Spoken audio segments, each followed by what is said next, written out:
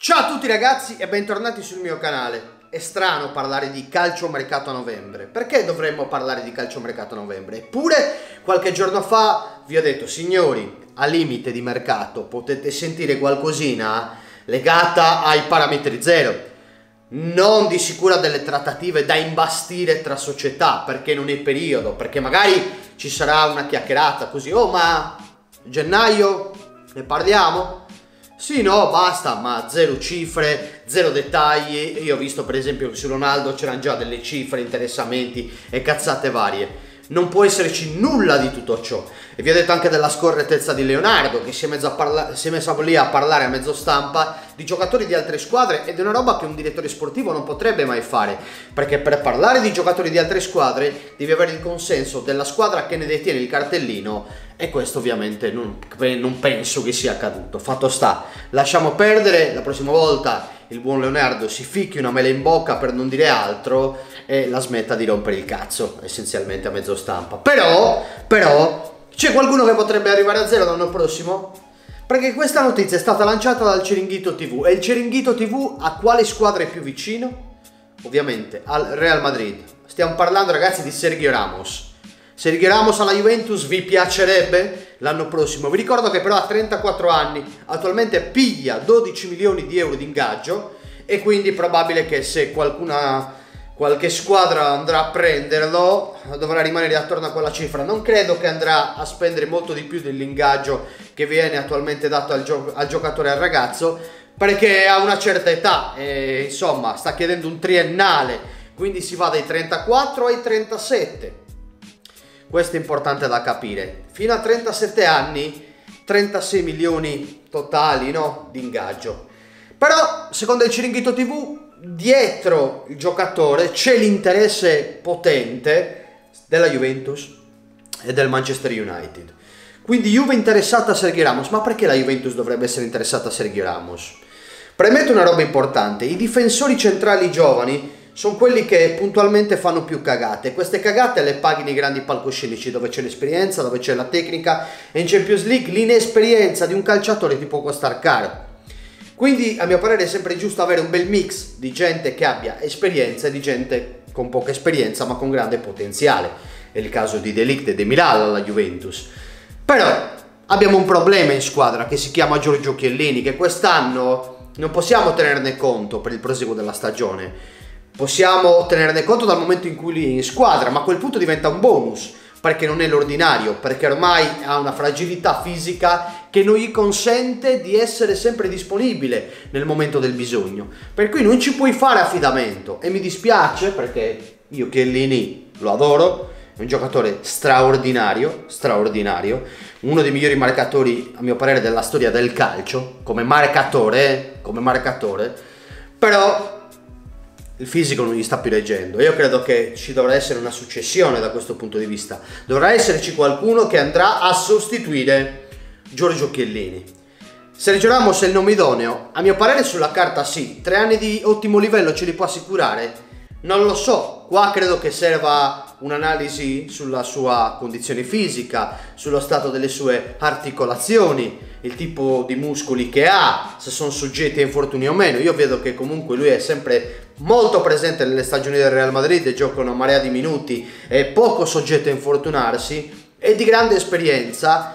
E ragazzi, francamente, guardando i nomi che hai alla Juve, togliendo Chiellini e mettendo Danilo come nuovo centrale, potresti avere un trio di, lì dietro, Danilo, Delict, Ramos, Danilo, Bonucci, Ramos, Delict, Bonucci, Ramos. Cioè, da paura che prendi e abbassi le serrande e dici qui non si passa più. E senza contare che c'è Demiral, c'è Meri Demiral che potrebbe scalpitare e se impara un pochettino a dolare eh, a, a limare quei suoi difetti, insomma, potrebbe diventare anche lui un ottimo difensore, un fortissimo difensore.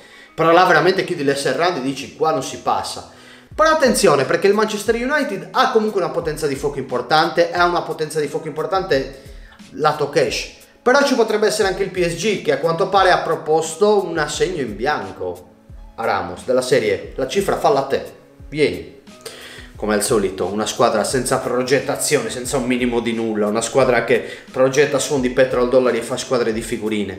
Ripeto, non mi ripeto su, sul buon Leonardo perché altrimenti qua inizio a vomitare odio, perché Leonardo deve ficarsi, ripeto, una mela in bocca e deve stare muto prima di parlare di Ronaldo, perché vi ho detto che non si parla di trattativa eccetera, Leonardo lo ha fatto ed è stato parecchio scorretto nel farlo.